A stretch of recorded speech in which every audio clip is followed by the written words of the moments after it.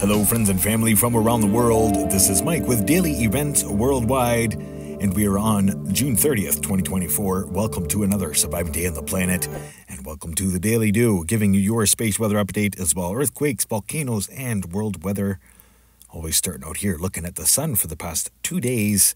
Imagery brought to you by Solar Dynamics Observatory. No major solar flares to talk about, nor new plasma filament eruptions but still keeping an eye on those north and south filaments. Looking here at imagery, cresting in, big sunspot grouping getting ready for an Earth facing party, and as well plasma filaments stretching from the surface, turning into view. Going to be keeping an eye on these over the next couple days. We saw a pretty large one erupt yesterday. Looking at the last 48 hours outgoing, this is where we see that eruption right there and as well a couple bursts from the sunspot region outgoing. Looking at multi-spectrum, pointing out the filaments, notable.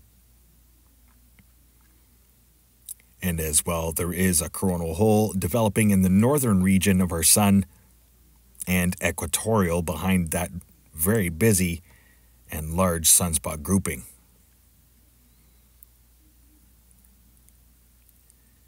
Having a look at 171 angstroms.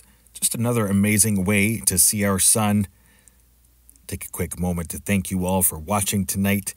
Thank you for all your subscriptions and welcome to the family. Right now, we have 15 sunspot regions active. Quick look at these sunspot regions in motion. Still two big black holes, one turning away, one Earth facing. Could probably fit about four Earths in the size of those black holes. Current space weather conditions, there are none to, to, to talk about. Solar winds are still hitting us at over 500 kilometers per second, 505 right now. Solar X ray flux remains in a low C range. A couple moderate C class solar flares throughout the day today proton flux is low, geomagnetic activity up to a KP3 at one point today, after being up to an 8 yesterday. Having a look here at the space weather prediction spiral showing our next solar storm when it's expected, first into the 2nd of July, and then again, third into the 4th. Little green circle on the right hand side is Earth bottom imagery showing north and south. But this definitely will be giving us a blow. Solar storms expected from July 1st and into the July 5th. ISWA Space Prediction Spiral showing the most recent CME taking off from our sun. Little yellow circle here on this one is Earth. And LASCO 2 showing the last three days of imagery. Only one major CME from the plasma filament eruption yesterday. Right there. Still pretty fluid motion all around our sun right now with 15 sunspots that are Earth facing right now. Who knows how many are on the backside. Again, we are well above predicted values already. Solar Cycle 25 hasn't even really put on a show yet, but it's coming. Now let's get to earthquakes last 24 hours. It looks like a small earthquake map, but most of these earthquakes have been striking Hawaii. That's right, the Kilauea volcano has been seeing multiple earthquakes throughout the day today, 207 across the big island of Hawaii out of the 390 earthquakes across the world, according to USGS. Quick zoom in here, southeast of the Kilauea Caldera Summit. 186 earthquakes. So, heads up, Hawaii. Kilauea has been shaking in waves as of late.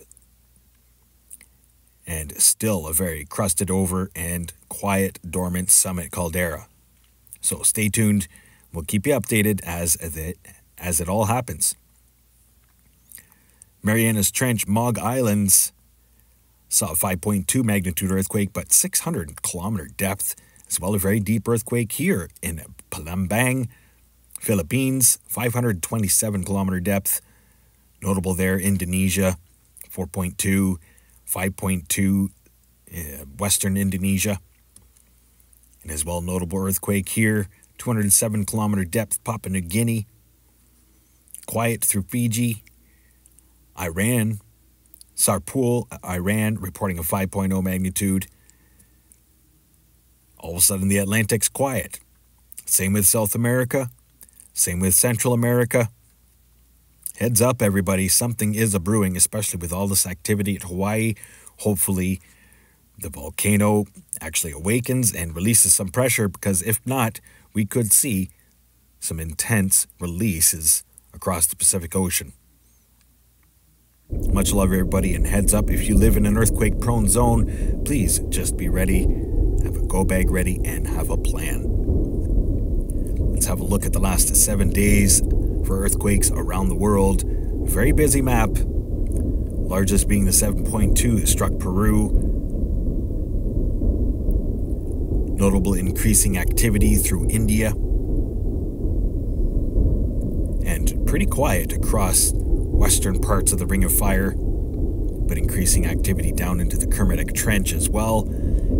Alaska seeing a lot of activity this week. No new volcanoes to talk about. No new eruptions. Still 48 active and erupting across the planet. Having a look here at the SO2 forecast brought to you by windy.com. This is showing the next three days. Big plume moving across the United States and into Canada, and as well, big plume South America. Lots of wildfires down there. That's probably helping. Looking across Indonesia, Southeast Asia, Eastern Russia. Notable players there Kamchatka, about four or five volcanoes, been steadily active on that island for quite some time. Overlooking Europe, Africa, Notable eruption at Mount Etna this week. Big SO2 plume coming out of Italy. Now let's get to weather here, brought to you by windy.com. We're going to start out here with forecast models for Tropical Storm Beryl, as he has quickly turned into a Category 4 hurricane. There's that last tropical system and then a watch here Tropical Storm Beryl roaring in through Jamaica. Wednesday into Thursday, Guatemala, Thursday into Friday, and then Saturday into Sunday making landfall in Mexico. Tropical Storm Beryl most likely will retain its category 4 strength with a very warm Gulf of Mexico. As well notable here across the United States, Watch for extreme weather to break out, especially through the Canadian prairies and central United States. Tuesday into Wednesday, watch for some really extreme weather through parts of Manitoba and northern Ontario. Could see some very wild weather with that low pressure system scooting across the prairies No major hurricanes, tropical systems forecasted in the long range, but there's still a couple areas of interest we're going to be keeping an eye on and watching for pop ups through the central Atlantic. Here is current satellite imagery showing the last three hours of imagery as it did turn into a Category 4 hurricane. Beryl packing winds of over 180 miles per hour as a Category 4 hurricane. Amazing images here. Eye wall, massive eye wall of this very strong and intense storm. Now, the, the vast size of it is very large, and as well, the eye of the hurricane is very large, and there's a lot of moisture wrapped up around this system right now.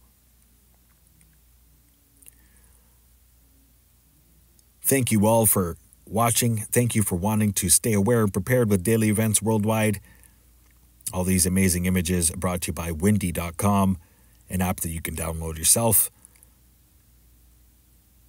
and get these forecast models and amazing satellite images. Have a quick look here at infrared as it is heading towards Trinidad and Tobago, the port of Spain, and Kingstown, Bridgetown, making landfall within the next 36 to 48 hours. And again, look at the size of this eye wall of Hurricane Beryl. First Category 4 Atlantic hurricane, third tropical system of the season. Amazing stuff, and much more to come. So stay tuned, subscribe, like, and share. Now let's have a look over Southeast Asia as we do have some intense monsoon rains that are developing all this week. Extreme weather, flash flooding all through parts of Myanmar, northern India, and as well Thailand.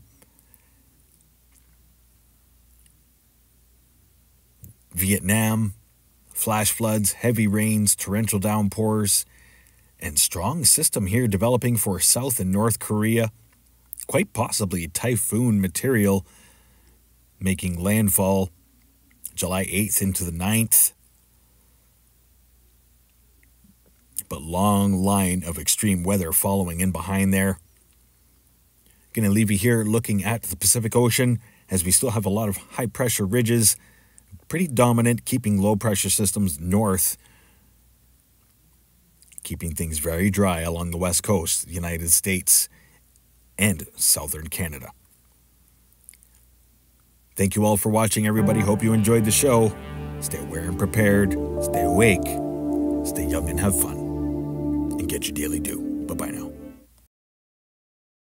If you enjoyed today's video, please hit that like button, subscribe, share with your friends and family from across the world.